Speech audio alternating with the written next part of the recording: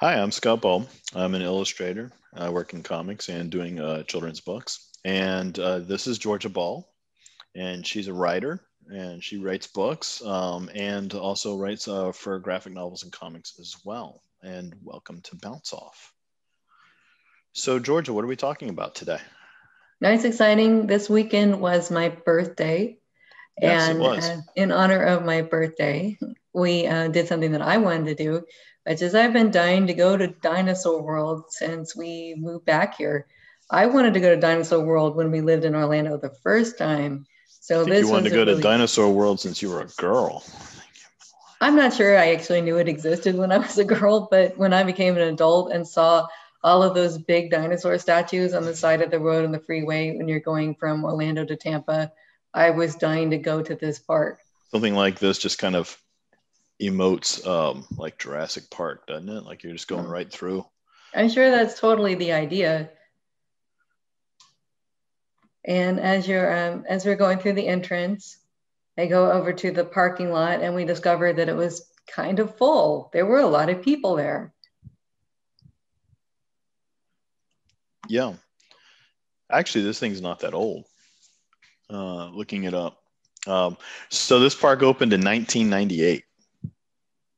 So that means that this was probably capitalizing off the concept of Jurassic Park. And did you know it's not the only one that this is actually a chain? Well, I did because I've had to look several times at um, their website to try to figure out their um, latest COVID rules. So I know they had a Florida one and they have one somewhere else. They have one I in hadn't- Kentucky and they have one in Texas. Which They have one in uh, in. Glen Rose, Texas, and I'm not really sure where that is. Um, still not. Re- oh, that's up near Dallas.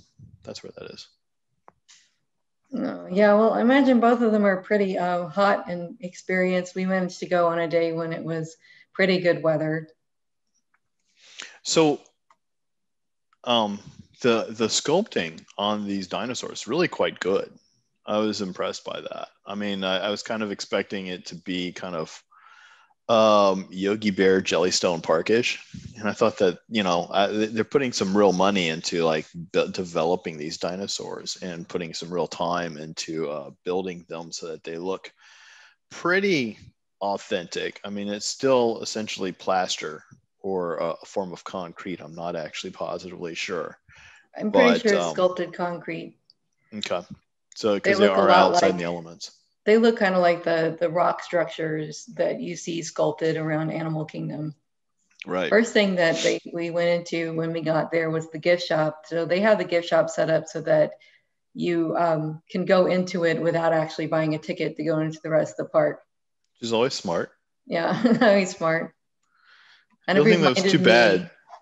I'm sorry. Go ahead. it- well, the whole experience reminded me of the one single time that I went to Splendid China before Splendid China was closed. And it was also this kind of park that wasn't something you'd normally think of when you go down to Orlando. And most people hadn't heard of it and had a shopping center outside of it that, for the most part, sold pretty generic items. Okay, you have to explain now what Splendid China is because that doesn't make any sense. it was a park was. that was in Florida that was um, supposed to be a celebration of Chinese culture. Mostly what it was was a lot of miniatures.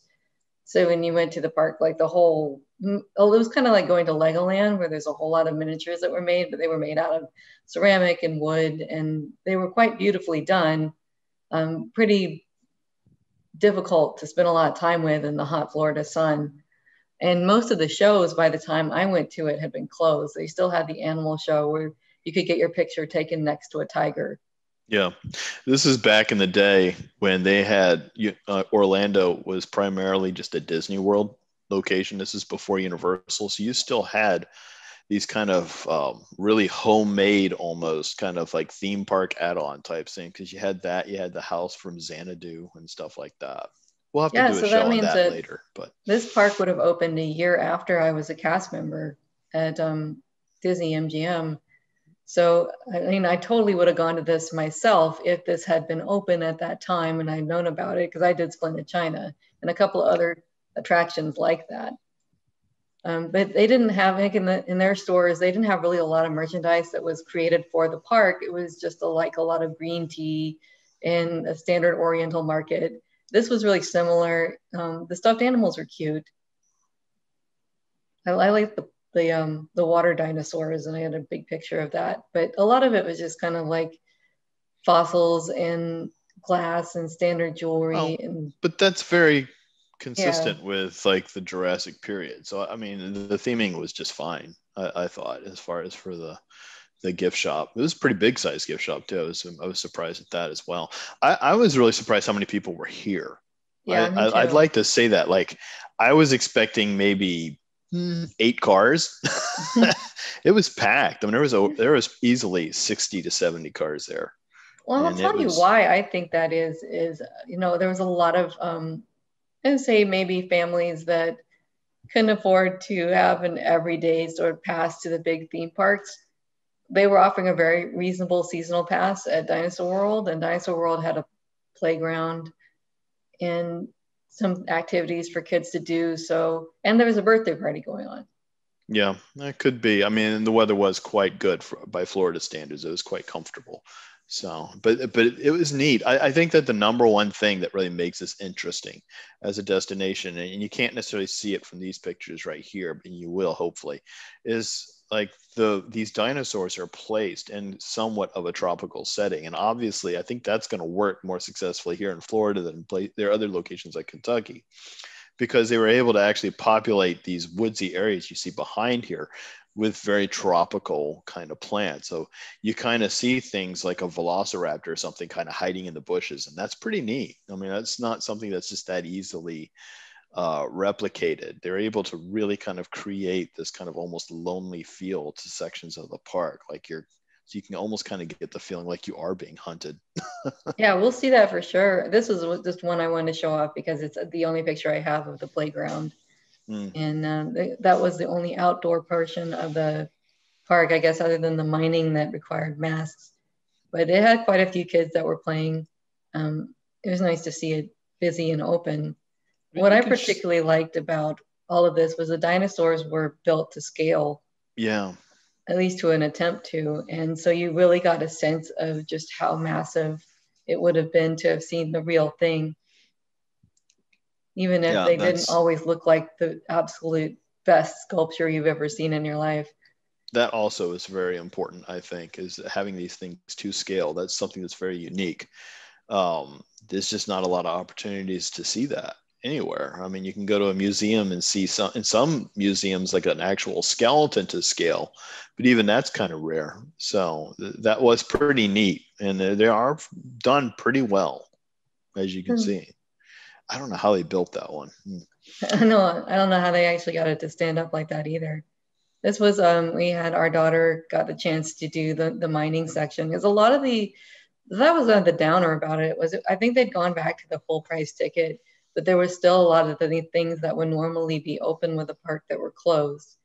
So they weren't doing the fossil dig. So instead they just handed her a sack of fossils and they weren't doing the cave exploration but they were doing the mining. So if for an extra price, then we could bring her over and she could look for minerals, which was it's always big with her, and she had fun with that. Yeah, it, it was nice. It's nice to have some ancillary things to do at a place, even though their their focal point is the dinosaurs. I mean, thinking of ways to do like mining for gems and stuff is not a bad side on to um, uh, an afternoon like this. So yeah, it was fun. Yeah, I didn't feel like it was a really expensive add-on. This is an example of just like how lush the environment was. I think they had quite a few of the the plants tagged, so you could see um, what their names were and whether or not they were a native plant or non-native plant. I would say a good chunk of the plants that were in there were non-native. Uh, just to try to give it, I guess, an even more jungle-like sensation. Well, that's one thing about Florida is that it, it is subtropical. So you could kind of bring in a few non-native plants and they'll thrive. Just about yeah. anything will thrive in Florida, good or bad. So they were doing very well and it was very dense in there. Yeah. But like you can't I can't see from this picture like any hidden dinosaurs, but you can kind of get the sense of how they could be kind of placed so that you they some of them might seem a bit hidden. They do have them obviously up kind of close enough with signs. You see signage there, so you can kind of identify and learn uh, about the different dinosaurs. And th- this is my opportunity to actually learn about a lot of different things that you uh, uh, uh that that that are not just the standard that you remember from like the Jurassic Park movies. So that was kind of interesting to me. Yeah, they had a lot of everything. So here was some of the ones that uh, Dimetrodon I've probably seen in things before, but Lystrosaurus is completely new for me. So it was a really good thing that they had these plaques up that I could read. And I did read most of them. This one that Lystrosaurus was said to be something that was kind of hippo-like. Like yeah. Squat. Yeah, I, I, I think of like all these dinosaurs as just being so creepy to just be around, you know? It'd be so, it's just a real environment to be in that time period with these things. And I'm pretty sure I probably would have survived all of eight minutes before I gotten eaten. But that would have been eight minutes I would have gotten to experience being around dinosaurs. Yeah, even the plant eaters are were really intimidating. These were two of the ones that were herbivores. And it was very large, the one with the, the crest in the, the back of its head, really big dinosaur, and they had some of mm-hmm. its families. Wow, here was the one that's going to take care of you after those eight minutes. I remember the plaque said that this was actually a juvenile size. Yeah, I, am not sure. I mean, I, I, saw, I don't know if that's juvenile size or not. I, I, I just don't know. I mean, I, I saw other versions of this T Rex that definitely were juvenile sized. So, well, yeah, I, babies. They said this one was just left his mother, so he would be at that stage when he could be a roaming adult. Well, okay. Well, I mean, he's basically there. It's kind of like apples and you know, or yeah. like splitting hairs here. But anyway, yeah. That's so that's the T Rex, and you can see how big its its head and its mouth is, most importantly. And it's it's interesting, right? I mean, wasn't it interesting, kind of being that close to something of that size, and you kind of really feel it. Yeah, it's so intimidating. You can see a um, size of a person in the background versus what the um, dinosaur would have been to them. Mm-hmm. It's just kind of hard to just picture it. That's why it was so much fun to walk among them. So I'm curious, George, like related to like time frame, like um, when the first Jurassic Park movie came out, what year was that? You're usually pretty good with dates on movies. Well, I was in, I mean, high school when that happened. So um, it would have been in the early 90s. Early 90s. So this yeah. came opened in 98. So this would have been like four years after Jurassic yeah. Park, I guess. I mean, Roughly. it has to be a correlation, right? Well, yeah, they would have opened this because of Jurassic Park. Seems much. like it, maybe. Yeah. And they even put in some Jurassic Park dinosaurs because, you know, the Dilophosaurus, Dilophosaurus. Dilophosaurus. Um, I think they actually they think it has frills. I'm not sure if they're really positive about that. They definitely do not know if it spit anything, and that happens in the movie. But they made it kind of look like these could be spitting something, and that's very much movie influential. Then they even yeah. say in the plaque, this was model was created as the Jurassic Park version. Yeah, I think one of the things that I learned that was interesting, and it certainly makes sense, is that there, there's certain factors with dinosaurs that they can pretty much scientifically determine, and then there's other things they can't. One of them is color. They're really not sure what kind of color dinosaurs had because that's not something that's, I think, that easily attainable from fossils. Um, so some of this is just kind of guesswork on that. And the other thing is sound. There's really not too sure what sounds they would make because you're limited with the information you have. Like I guess it, you know, you, you assume based off of things like um, nasal cavities and such that maybe they they can like blow through or something like that. But there's real no hard evidence on sound. Yeah, and this was a very silent park. Like for the most part, things are not making any noise. Mm-hmm. So you just sort of have to visualize that. Yeah, I think that's a good thing. I mean, they did not have like speakers running through. You know, dinosaurs go roar. They could have. Like, I don't know if that would have been a negative. Uh, it could have been lame. so I thought that the mammoth section was funny because it was we had to go out way out of our way on the map to figure out where it was, and we really wanted to see it. once you've seen it, you're kind of like, wow, I have I've seen enough mammoths for a really long time. There were so many mammoths in there, and they all look the same. So what's interesting here, you look at this, is like so. This is the one area where the subtropical doesn't really work. So they really feel out of place to me because um, they they would be more in a tundra or much more northern type setting. So seeing them amongst all these palm fronds and, and yeah, I know. Trees, and look how they, they add the little ice bits in there. So we have some suggestion of ice. So this was one of the things that was closed. It, normally it would be a place where you could uncover bones inside of, the sand.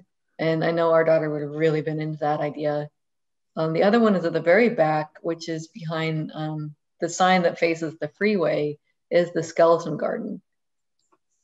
And that was open because it was just a little outdoor garden but it was pretty neat to see and it had all of these reproduction skeletons inside of it yeah it's interesting to see that too so you can kind of get a sense of things like uh, the cavities in the in, in the skull and such like that that does make it interesting to me now obviously to me if the whole park had been this this that wouldn't have been nearly that interesting but no. having a little section of it's kind of cool it was fun as a nice uh, little garden I was reading on one of the plaques that it said that a lot of the cavities were probably to reduce weight.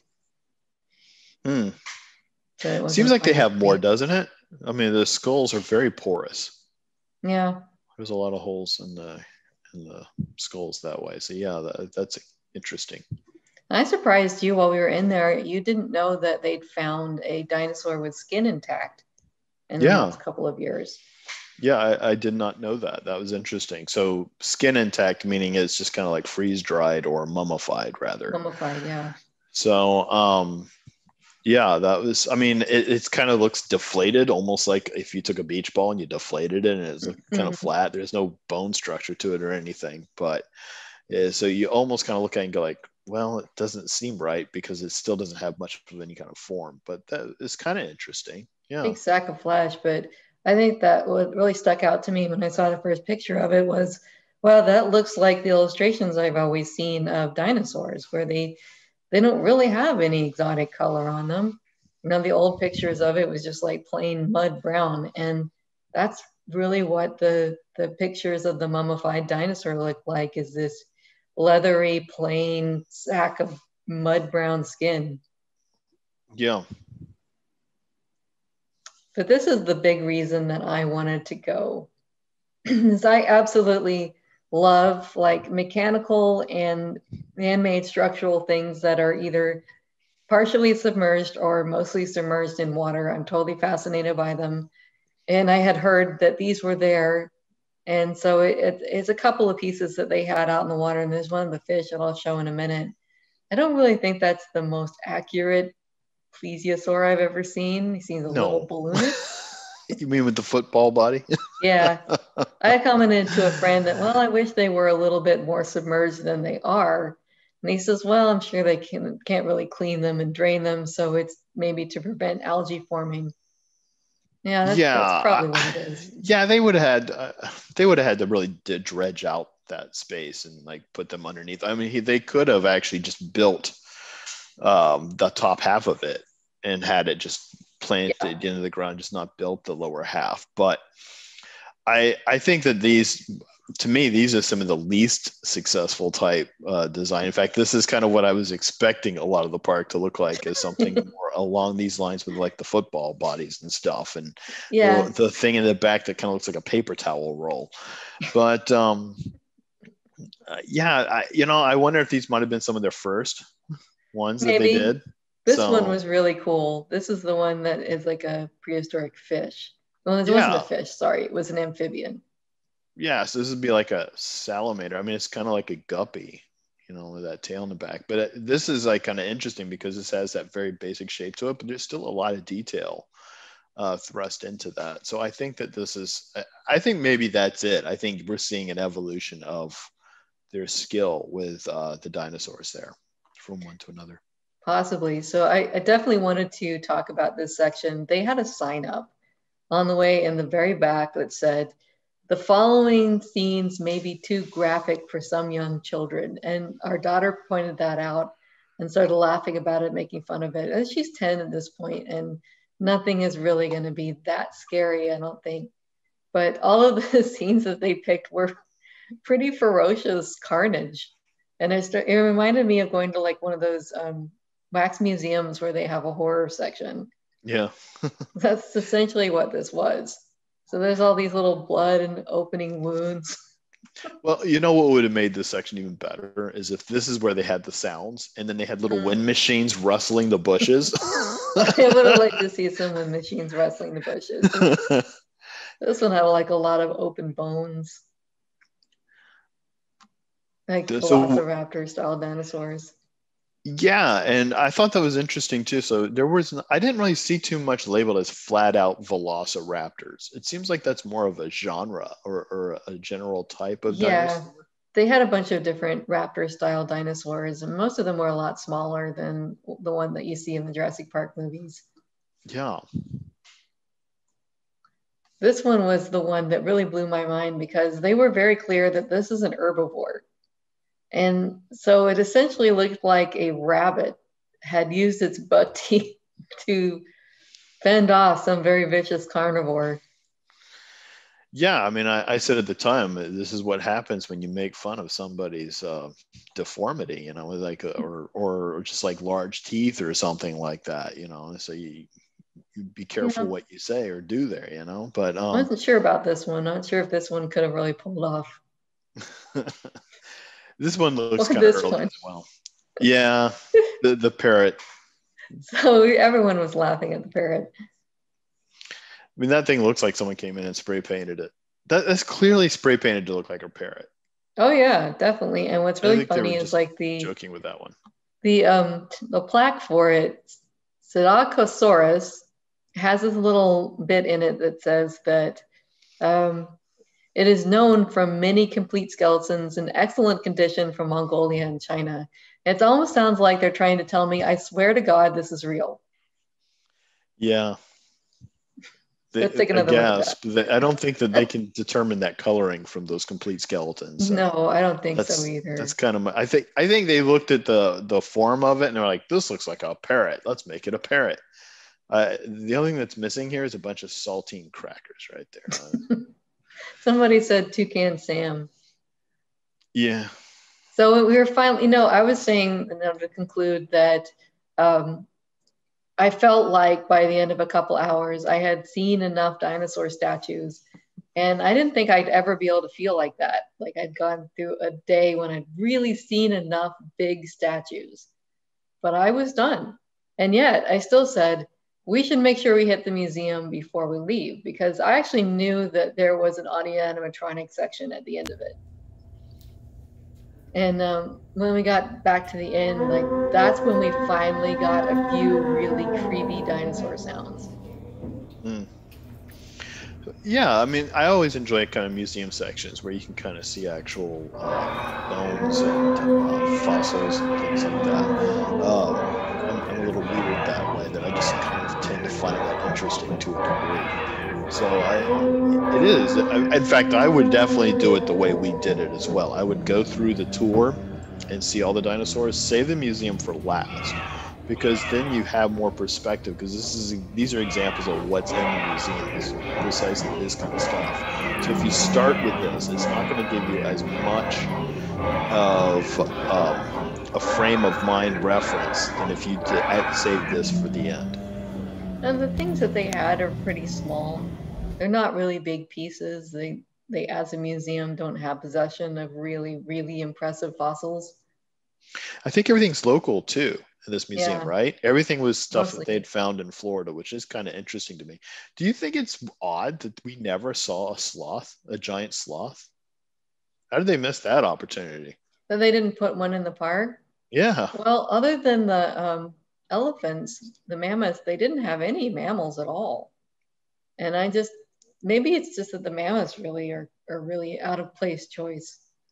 Mm uh, it makes me kind of wonder if you think about some of the other ones, the other versions of this park, how different are they? Are they all the same, or do they kind of pick different kind of subject matter park to hmm. park based on their location? I would bet they're a little different. To check that out sometime. Maybe hit one the one in Kentucky or something. So this um, is the big question that I had at the end was, um, would you want to go back? Yeah, I would. I don't want to. I, I don't think I'd necessarily get like an annual pass and, and go unless you had small yeah. kids. Um, but it's nice to just kind of go, and I, I, would go in um, cooler weather. Um, so it's a, it's a good winter type event to go to in Florida. And I would pick days that maybe aren't as busy if I can, because just the opportunity to maybe walk around in that setting in more solitude and quiet um, would have more appeal to me. But yeah, I'd go back. How about you? It's a nice walk. I think that it'd probably be a couple years before I'd really have a big bug in me to go back. Mm. But um, I really did have a great time and got a lot of really good pictures. And I, I enjoyed the walk around. So as long as the weather was good and it wasn't blazing hot, you see this as being something fun to do again in a couple years. Here's my last question. What did you learn that you didn't know? Um, let's see. Because I have one. I'll tell you well, mine while parrot, you're thinking. that was the parrot dinosaur was very new for me. Yeah, but I think that was a little jokey. I'm not sure that I'm talking about more like you learned. So so here's mine. I'll tell you mine while you're thinking. But for me, it was with the mammoths. I learned that mammoths lived a lot longer than a lot of the dinosaurs did. And in fact, they, they've dated the, the last surviving uh, mammoths died off in, around in the area in Canada after uh, Jamestown was founded. So they, I mean, we had prehistoric animals like that uh, living that late, which I think is pretty remarkable to think that you could have actually seen a mammoth as soon recently as past 1500 yeah it's true um, i remember reading that it was saying like it's a combination of the, the changing climate getting a, a warmer earth and uh, hunting but between those two things is the reason that mammoths died out um, especially I they weren't really suited for warmer weather for sure no another thing i learned that was interesting is they believed there were vast herds of bison in Florida at one time. Yeah, I would say and that that's kind that. of related to what I learned is um, that I love, absolute love giant brown sloths. I've always thought those were really fascinating. That those were really dominant in Florida. That was a major prehistoric animal that they had here in this state. Mm-hmm. I always associated that with being um, South America. Yeah, I think maybe because that's just where they are now. So well, that's where it, the smaller ones are, but I do know that the, I'm pretty sure that the ground sloths used to have a lot of them in South American region, but they were, I guess, also in Florida. Yeah. Well, I as you probably used to be a lot more humid in Florida than it used to be, or, or than it is now. So anyway, it was fun. I do recommend it. Um, if you have a day trip to do in Florida, you can certainly do it in an afternoon. And I, I, I very much rec- heartily recommend going. It's fun. Um, it's best if you do have kids, but if you don't, um, it's still fun to take a date. It kind of mm-hmm. is. So, uh, and where is this located? We I don't think we ever actually said. Which is Florida is a big state, so th- this is outside of Tampa on Interstate Four. Uh, so it's between um, Lakeland and Tampa, Florida. And uh, there's a big sign for it. It's really close to Plant City. So um, that's, Plant City, that's where it's located. Where the Strawberry Festival is. Where we are our previous video when we went to the Strawberry Festival. So you can go check that out. So, all right, Georgia. Well, thanks. Uh, that was fun. Um, until next time, uh, I'm Scott. That's Georgia, and this is Bounce Off.